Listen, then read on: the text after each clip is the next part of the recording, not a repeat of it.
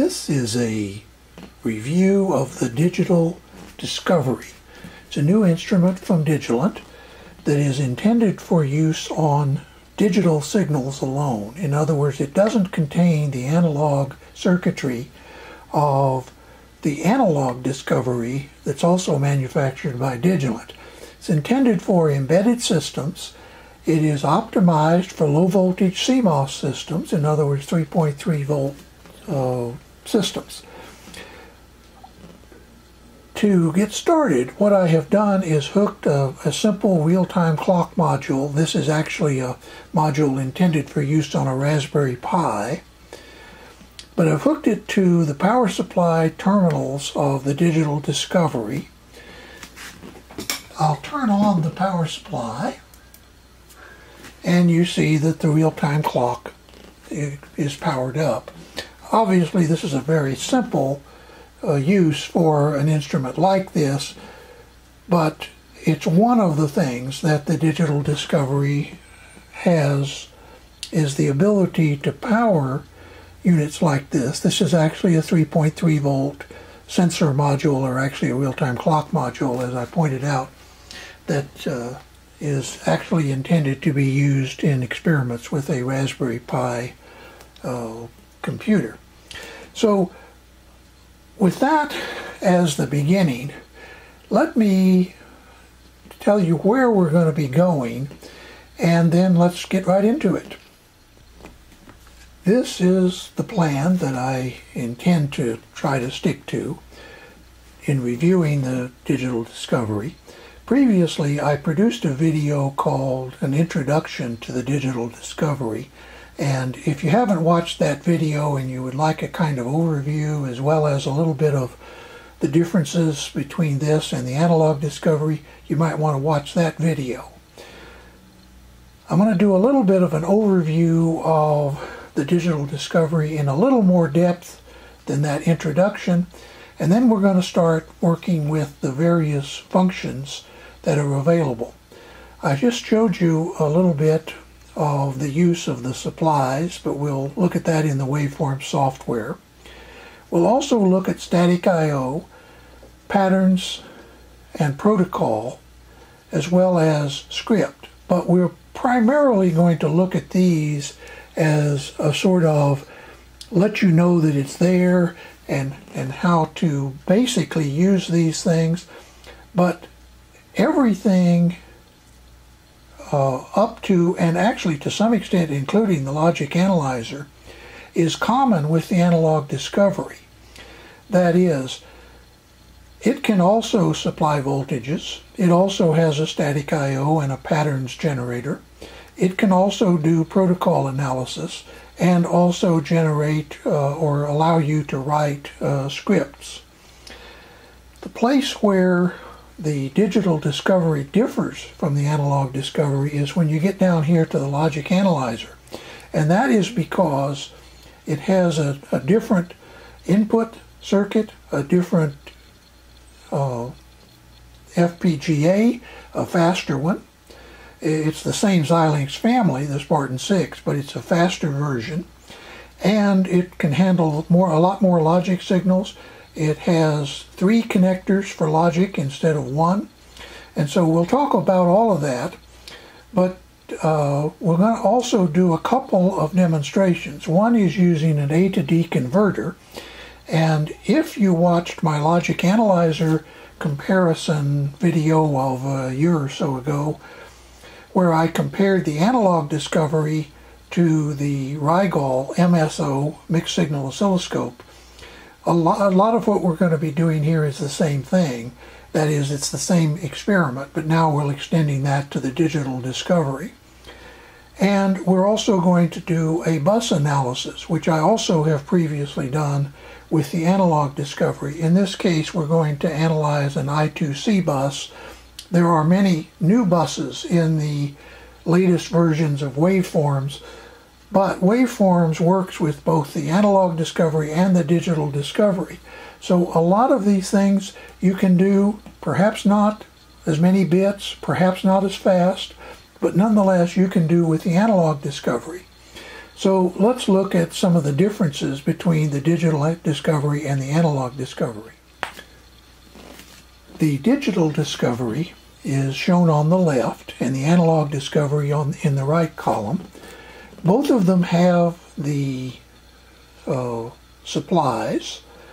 That is, they, they both generate uh, supplies.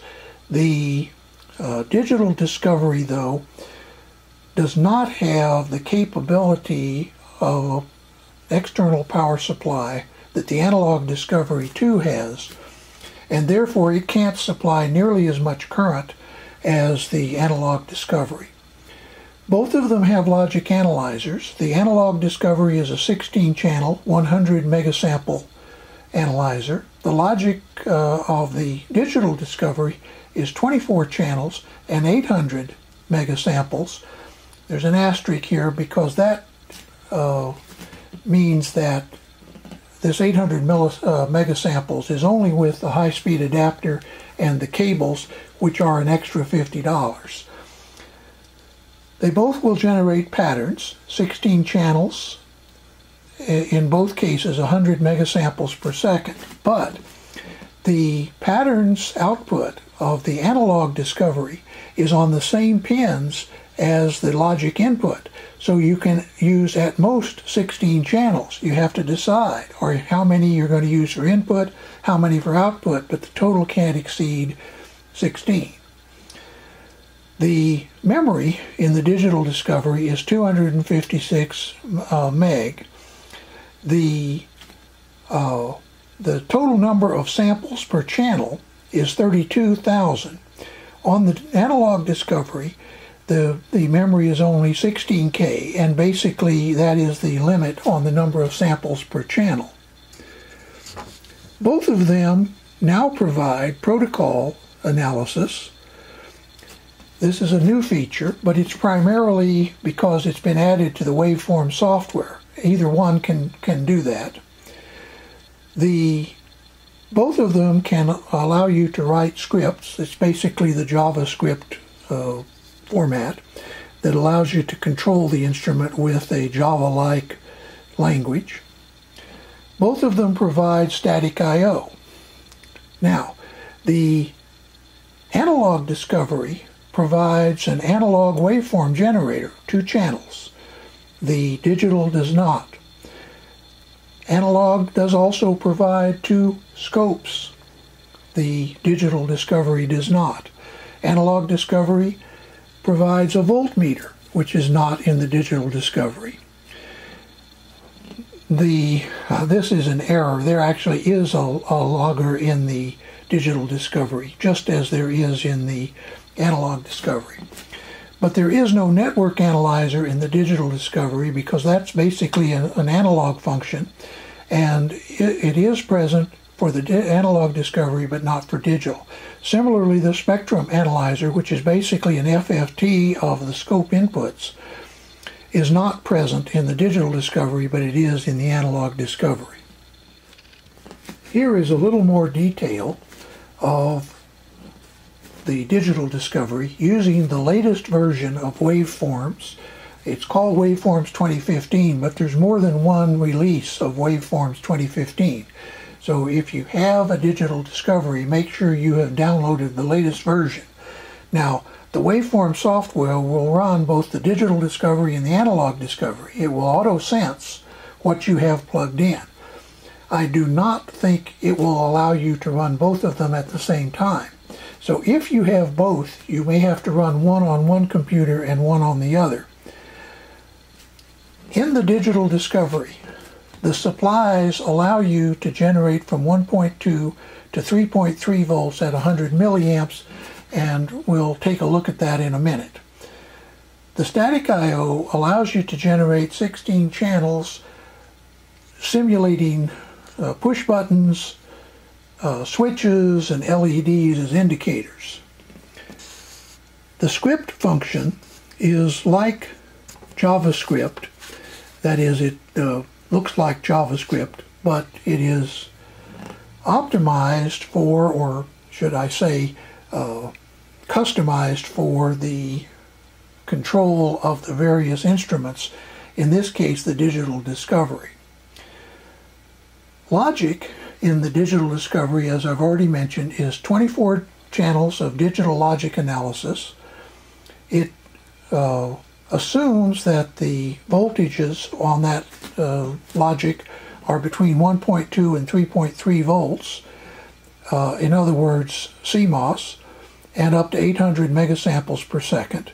Now it will work with uh, TTL logic, that is 5 volt logic, although it's not optimized for that, it will sense. I'm not sure whether you can get the very highest speeds though with TTL because they are fudging the uh, the noise margins a little bit in trying to stretch these inputs to use 5 volts.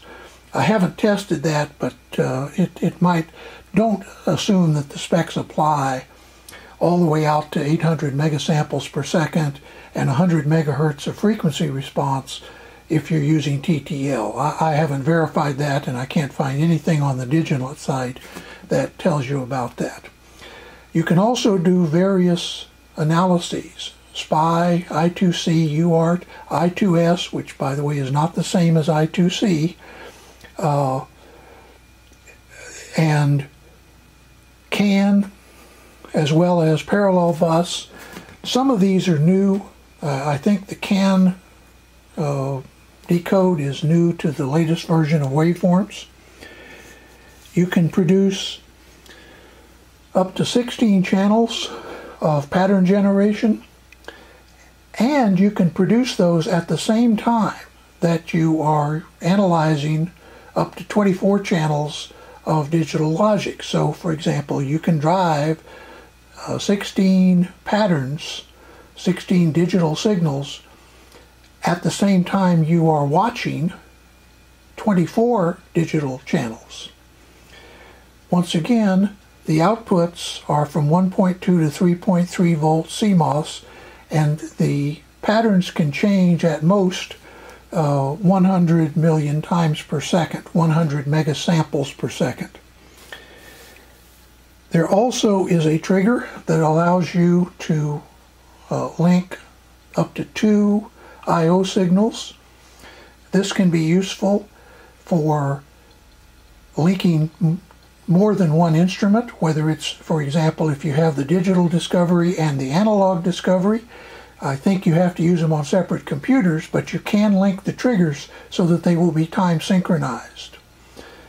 Finally, there is a protocol analyzer, which is a new function in waveforms that allows you to do SPI, I2C, and UART. They may add some more in the future, but right now you're limited to these three.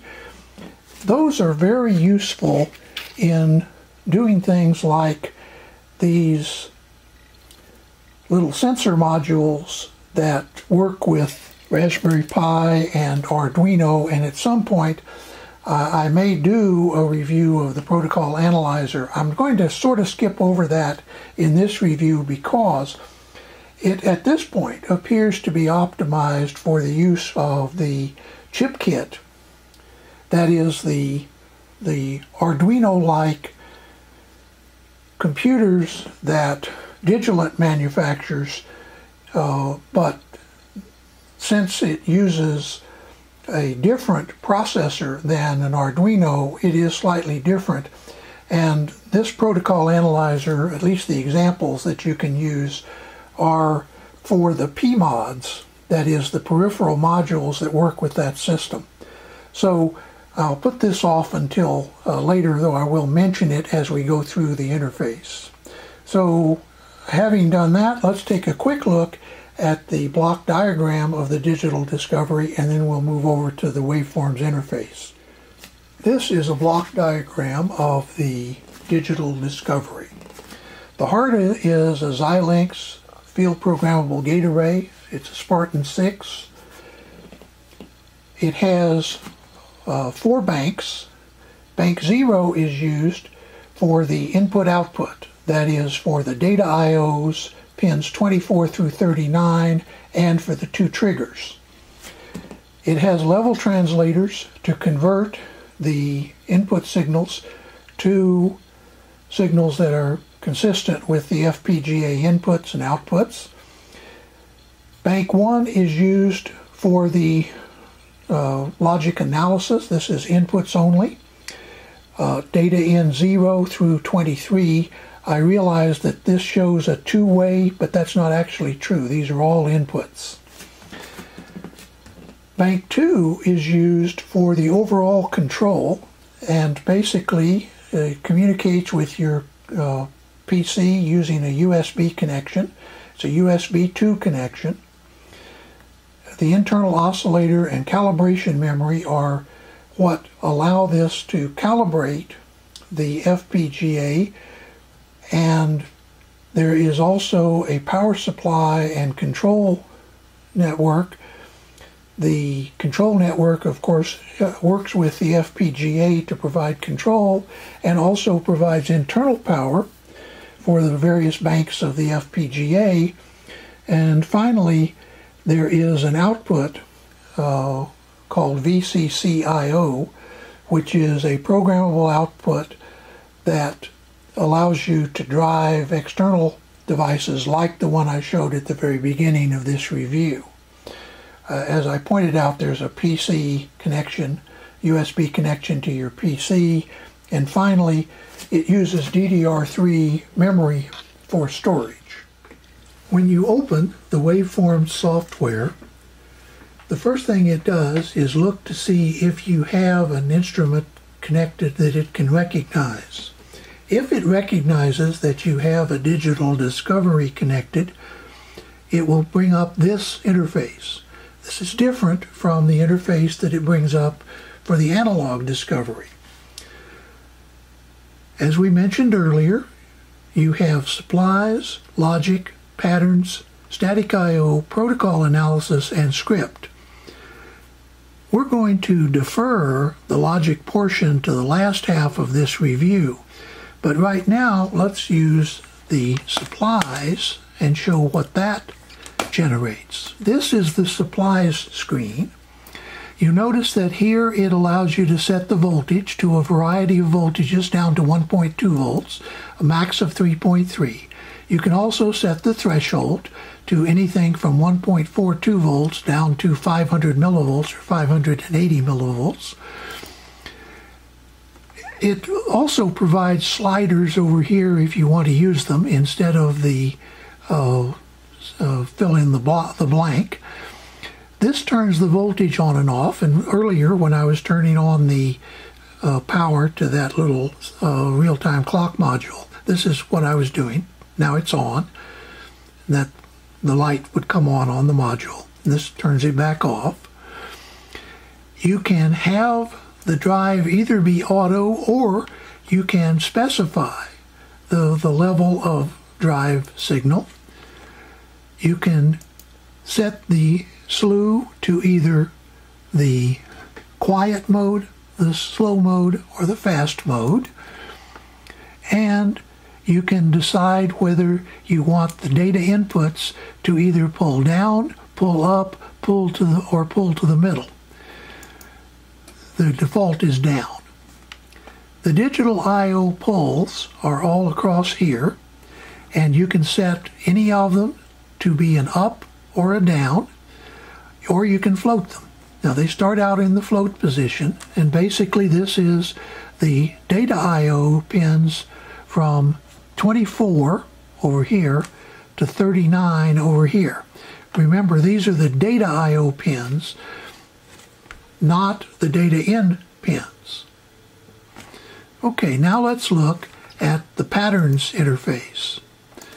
The patterns interface I've shown before, and it's fairly much the same interface that you get with the analog discovery, so I'm not going to go into much detail on that. Basically, you can add channels. You can either add signal channels, you can add bus channels, or you can use what's called ROM logic. I'm going to add one signal on let's say DIO34 and then I'm going to add a bus for let's suppose 24 through 27. And the difference is that the bus is treated as a group when generating patterns. So anything you do to the bus, you do to all four signals in this particular case that are part of the bus, whereas the individual signals uh, operate independently. You can have them be of type constant, that is, constant 1 or constant 0. You can have them be a clock, a pulse, a random, or a custom. And the custom requires that you write some script-like language to control that. For the bus, you notice that in addition to these, you can also have a binary counter bus, a gray counter, a Johnson counter, a walking ones, walking zeros, or a decimal counter. Quite useful being able to do those instead of having to set them up yourself. Once again, I'm not going to go into much detail on the pattern generator because it's common and also there is some nice tutorials on the Digilent YouTube channel on using the pattern generator, which is essentially identical to the analog discovery pattern generator. Static I.O. allows you to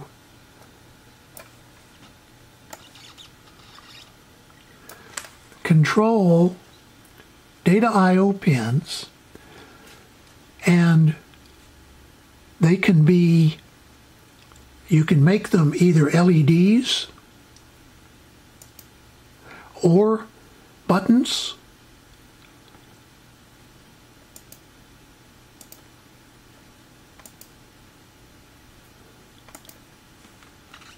This is, these are the names, and these can either be push buttons, they can be on-off switches, that is single pole, single throw switches, or they can be LED indicators of what's going on. They're really intended for use in training environments where you need some kind of easy way to change input signals manually and observe them manually. Once again, this is the same as static I.O. on the Analog Discovery 2.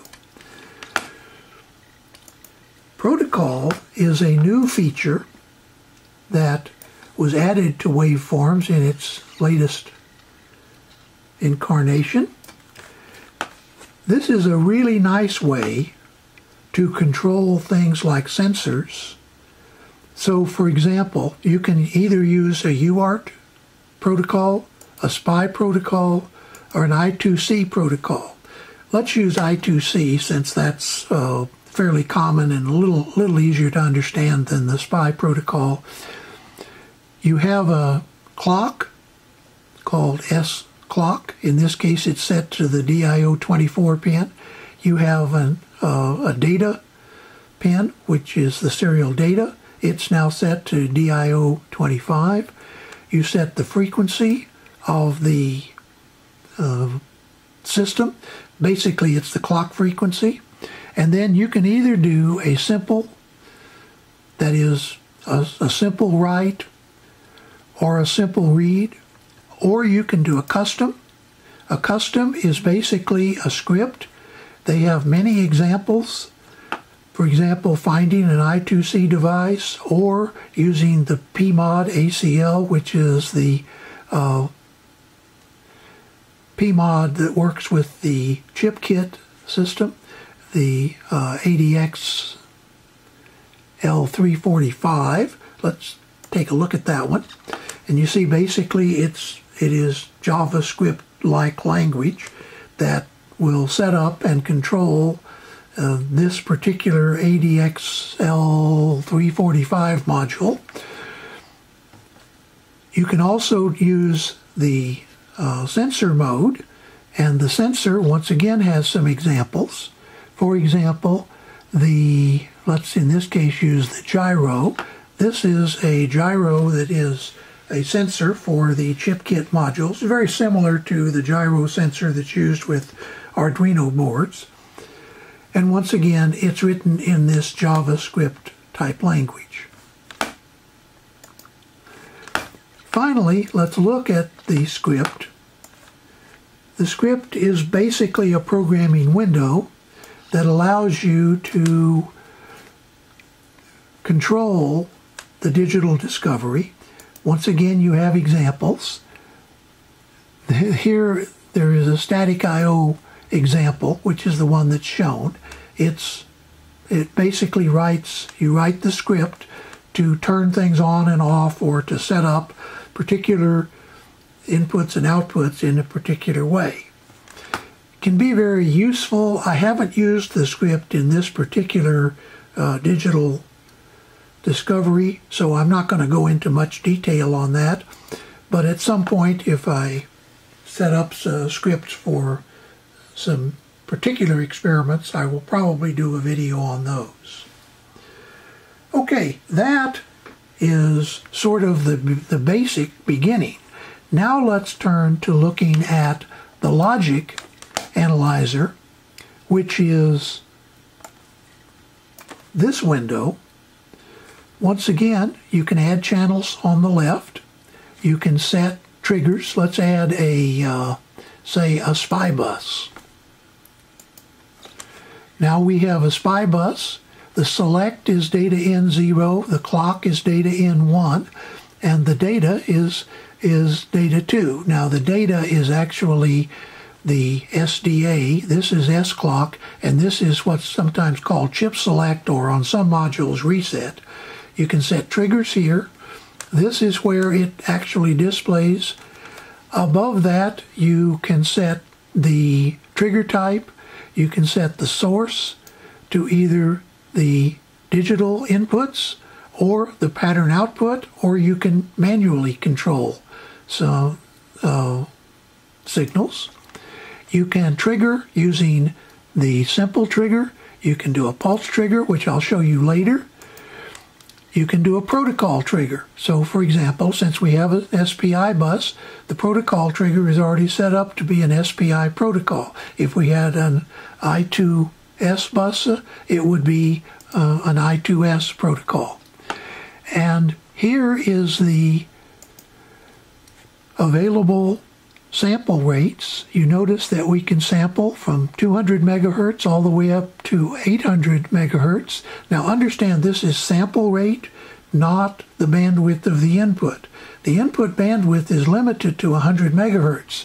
So for example, if you are using 200 megahertz on a 100 megahertz signal, you are basically sampling at the Nyquist minimum of two samples per cycle. If, on the other hand, you use 800 megahertz of sampling, then you are oversampling. You are sampling four times faster than the Nyquist minimum. However, you notice that it says down here not available. The SPI bus will not work at these high rates.